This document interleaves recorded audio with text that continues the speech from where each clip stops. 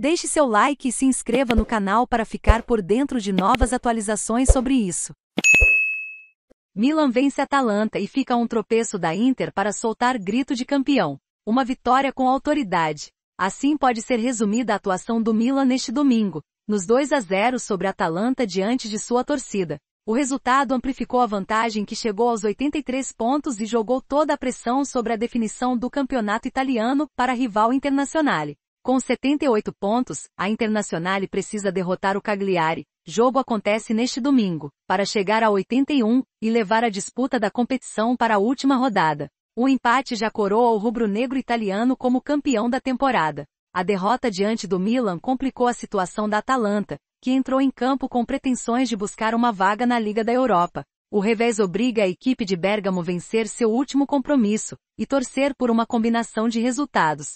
O primeiro tempo apresentou duas equipes determinadas na busca de seus objetivos. Se o Milan entrou em campo disposto a defender a liderança isolada do italiano, o Atalanta também mostrou ambições ofensivas. O time rubro-negro, no entanto, foi mais efetivo na etapa inicial. Rafael Leão, com sua movimentação e jogadas de velocidade, deu trabalho à defesa adversária. Foi dele o chute que obrigou Juan Musso a realizar difícil intervenção. Zapacosta, em chute da intermediária, também deu um susto na equipe rossonera. No lance mais polêmico dos primeiros 45 minutos, Girou foi derrubado na área, mas a arbitragem mandou o jogo seguir, o que gerou reclamações da comissão técnica do Milan. Na etapa final, a partida apresentou um ritmo mais intenso com a equipe de Milão, utilizando a marcação alta para provocar um erro na saída de bola do Atalanta. Mas foi em uma jogada em velocidade que os rossoneros conseguiram incendiar o estádio. Melhor em campo, o português Rafael Leão ganhou na corrida do seu marcador,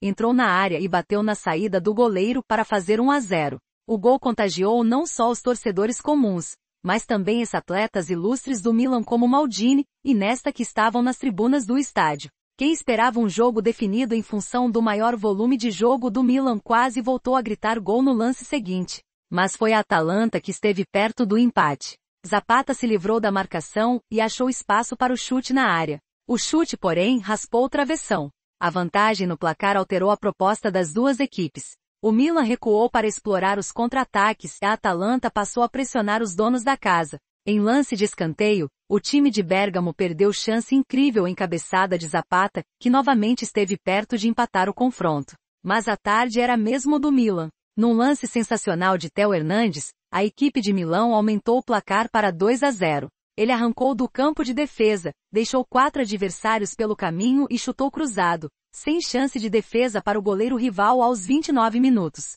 A partir daí, coube aos donos da casa administrar a vantagem e tocar a bola. A Atalanta sentiu o golpe e diminuiu o ritmo diante da festa da torcida no estádio. Caso o título não se confirme neste domingo, o Milan visitará o Sassuolo na 38ª rodada para tentar ficar com a taça. Já a Atalanta volta a campo para enfrentar o Empoli diante de sua torcida. Veja também.